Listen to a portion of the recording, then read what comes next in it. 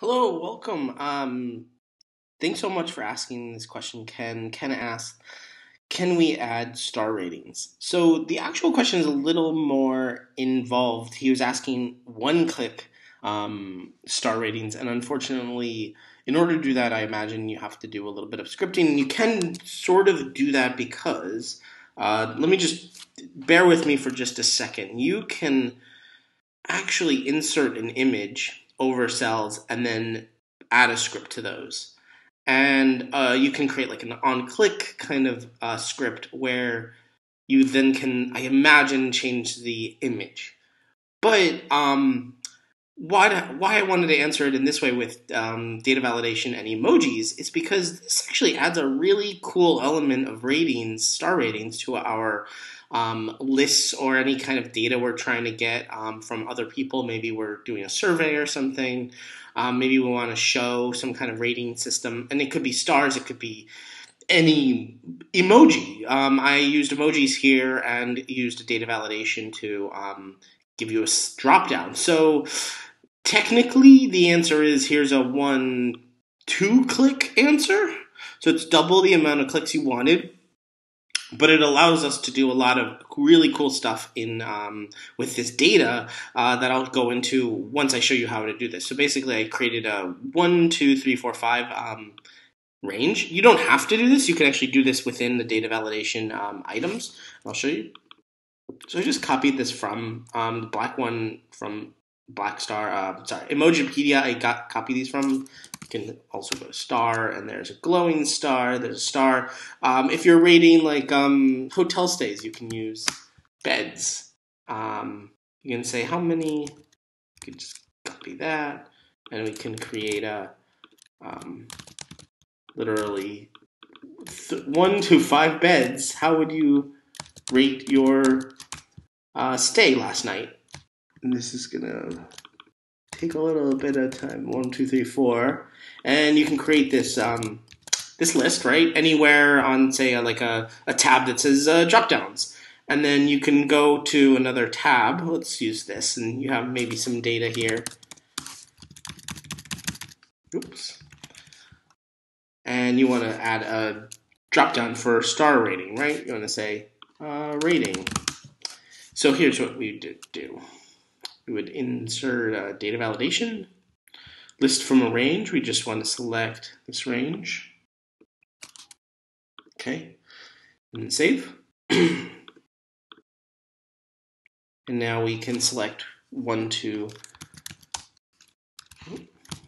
one to five stars. And that's it. Um, look, these glowing stars seem to look better at 15 and above. Um, font size, you can keep them blank. You can put, um, you can select three stars maybe as the center one.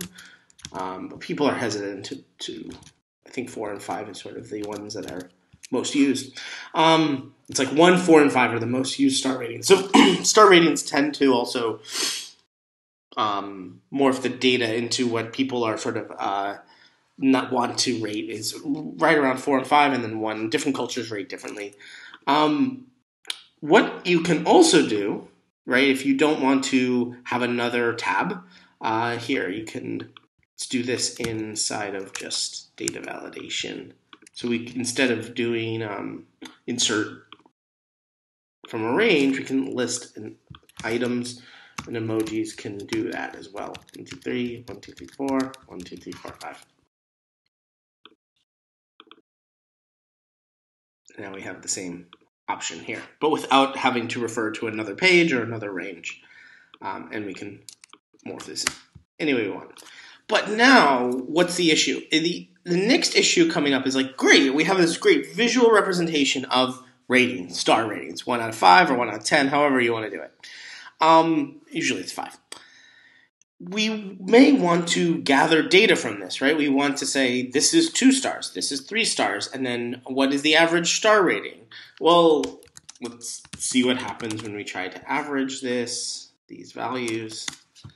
Nothing, right? Because the value of function average caused a divide by error, divide by zero error. there's nothing there. It's emojis. They are images. They are not um, numbers. So maybe we want to have in this column, or like in another sheet, we want to say, okay, from this data, we'll get these three, three, one, and then we want the average of this. 2D. And here our average is 2.4 stars, right? Um, so how do we get these? Uh, there are a couple ways to do that. One is uh, VLOOKUP. You can, if you have a range already um, of these stars, you can add one, two, three, four, five next to it.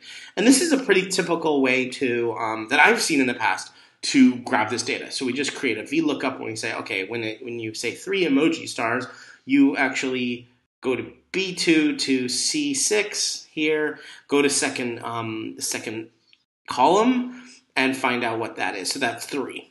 Um, in this case, it's one. In here, we can show you one. What means one? Five stars means five, and so on and so forth. And that's VLOOKUP, and that's absolutely usually one of the quickest ways to do it. Right? Right? You need four four arguments, one of which will always be false. Or at least I always put false. I really don't know why anyone would put true. Um, maybe I think on very very long amounts of data, putting true helps you do that VLOOKUP faster. I mean, you gotta have like thousands of things, but yeah, you're just going for the search key, which is the emoji area. Going for the range, which is going to be wherever the emoji list is with the numbers, and then you're going to go to the second column. Um, there's another way to do it with switch. Um, this is sort of fun because it, it, you have to just copy and paste emojis a lot. Um, and I'll do that again here for you. Here, we'll add switch here without just copying that. So we go equals switch, and we say, okay, the expression is the the rating, right? The D5. This is the drop down menu, and we're going to copy this all the way down, just like we would uh, VLOOKUP. But what are the expressions? And so switch is giving us a set of case and value. So the cases are what is the, the thing that it is, and what do you want to express it as? And so we want to express um, we have to use uh, quotation marks. So we do one star in quotation marks, comma one. Because when there's one star, we want the number one, comma. When there's two stars in quotation marks, we want comma the number two.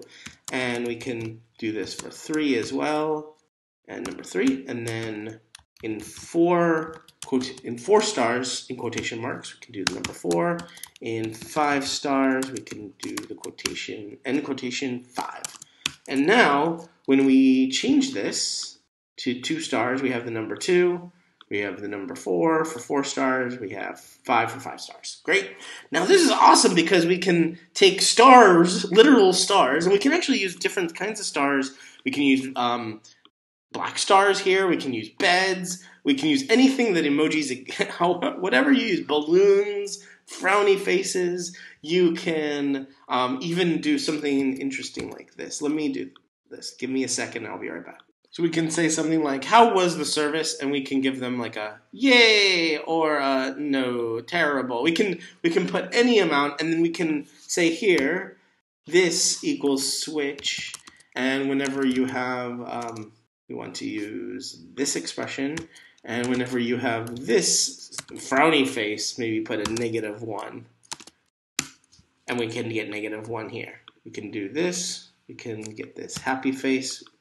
We can add this, and we can say, okay, when we have a frowny face, or sorry, the opposite of a frowny, a smiley face, put a 1. So now we can do smiley face equals 1, angry face means negative, negative 1. So this is really cool. We can do thumbs up, thumbs down selections. We can then turn that into data. But here's one thing that's missing, and one thing you can do even better is what happens, say, if you have a data set and you're trying to display that data set to others and you want to take a rating that already exists maybe you um, download this from a rating site or you already have a rating site and you're getting gathering data or seo ratings and you're trying to visually represent the numbers 1 through 5 or good and bad. Um, you can also do the opposite of with switch. You can take a number and switch it to a, this this emoji. So let's do that here. Let's do switch switch from data. So we have like a bunch of ratings, right? Maybe we have like this. and we want to go, okay, equals switch. What do we want to switch? We want to switch B3, and case 1, it's going to have one smiley face. In 2, comma, we're going to have two smiley faces and quotation marks. When we have the number 3, we're going to have three smiley faces. When we have the number 4, comma, we can do four smiley faces. Number 5, you see where I'm going with this, five smiley faces. So it's literally just the opposite of taking smiley faces or stars and moving them to numbers. We can take numbers and move them to smiley faces. So now we copy and paste this down, and we suddenly have a visual representation of these numbers.